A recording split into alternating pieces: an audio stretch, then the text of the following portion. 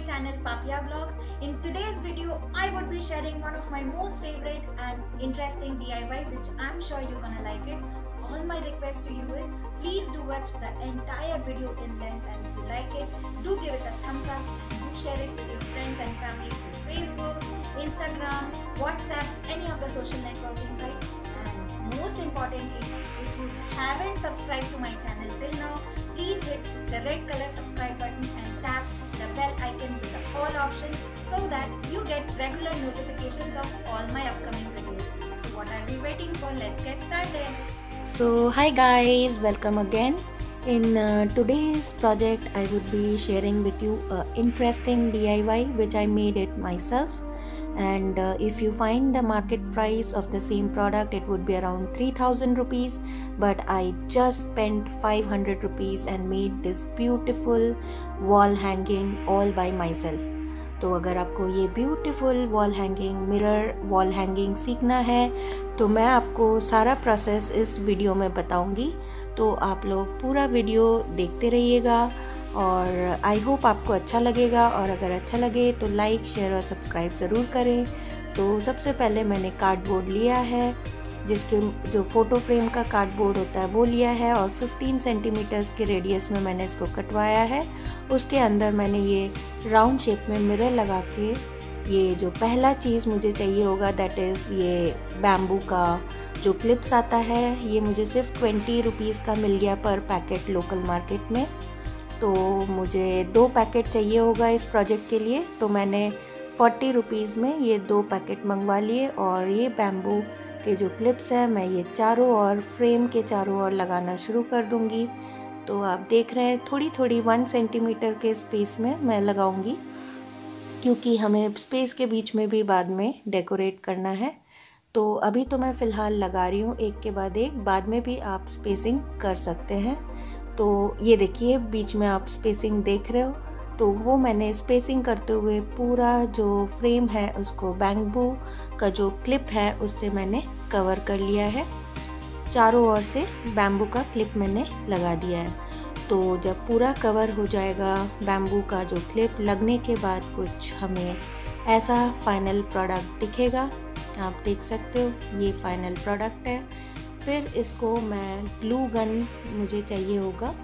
तो मैं glue gun से एक एक जो आर्टिफिशियल पर्ल जो मोती होते हैं, वो चिपकाना शुरू कर दूँगी, जो सेंटर वन सेंटीमीटर का स्पेस है, लगाने के बाद ये फाइनल प्रोडक्ट मेरा बन के तैयार हो गया। तो मैं आपको ये प्रोडक्ट का सिमिलर प्रोडक्ट का मैं ऑनलाइन लिंक डिस्क्रिप्शन बॉक्स में दे दूँगी, जो अमेज़ोन में अराउंड थ्री थाउज़ेंड का मिल रहा है। वो मैंने ओनली फाइव हंड्रेड रुपीज़ में तैयार कर दिया इंक्लूडिंग द रॉ मटेरियल तो ऑलमोस्ट विदाउट बिना खर्चे के आप इतना सुंदर अपने हाथों से अगर D I Y wall hanging अगर बना के तैयार करें तो क्या कहने? आपके घर में चार चाँद लग सकता है तो ये फाइनल प्रोडक्ट है, कुछ ऐसा दिखेगा। तो मैंने अपने पीछे इसको लगा के आपको शो किया है। तो मेरा जो नेक्स्ट डीआईवाई प्रोजेक्ट है, वो भी सेम है। इसमें भी मुझे मिरर चाहिए।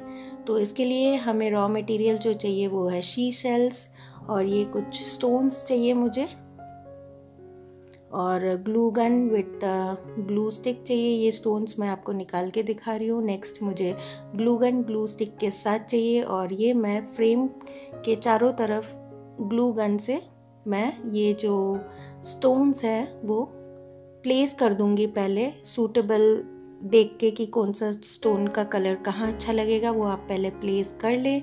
प्लेस करने के बाद जब आप फाइनली डिसाइड कर लोगे कि कौन सा स्टोन का कलर कहाँ अच्छा लगेगा कलर कॉम्बिनेशन के साथ आप अगर जब देख लेंगे सेट कर लेंगे, फिर आप फाइनली चारों ओर से ग्लू गन से ग्लू लगा के फिर आप फाइनली ये स्टोन्स को सेट करके चिपका देंगे। तो आप देख रहे हैं, इस टाइम मैं सेट करके देख रही हूँ। कलर कॉम्बिनेशन कौन सा कहाँ प्लेसिंग प्लेसमेंट किसका बेस्ट रहेगा? तो मैं पूरा प्लेसमेंट करने के बाद ही मैं अकॉर्डिंगली एक एक स्टोन्स को हटा के ग्लू गन से चिपका के चारों ओर से मैं स्टोन लगा दूँगी।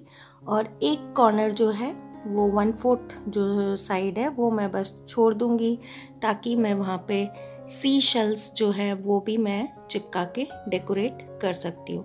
तो ये एक बहुत ही बढ़िया एक सी लुकिंग मिरर दिखेगा with seashells and blue stones बहुत ही प्यारा दिखता है तो आप देख सकते हैं।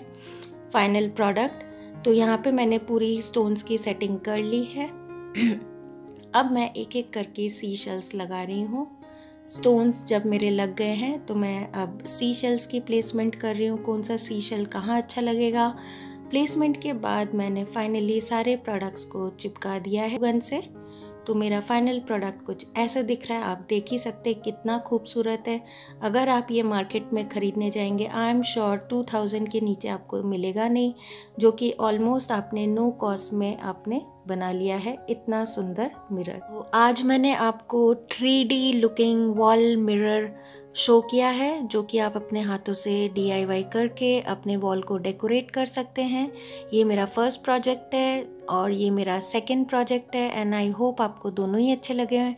और अगर अच्छा लगा तो please do not forget to hit the like button and subscribe to Papia blogs at YouTube thank you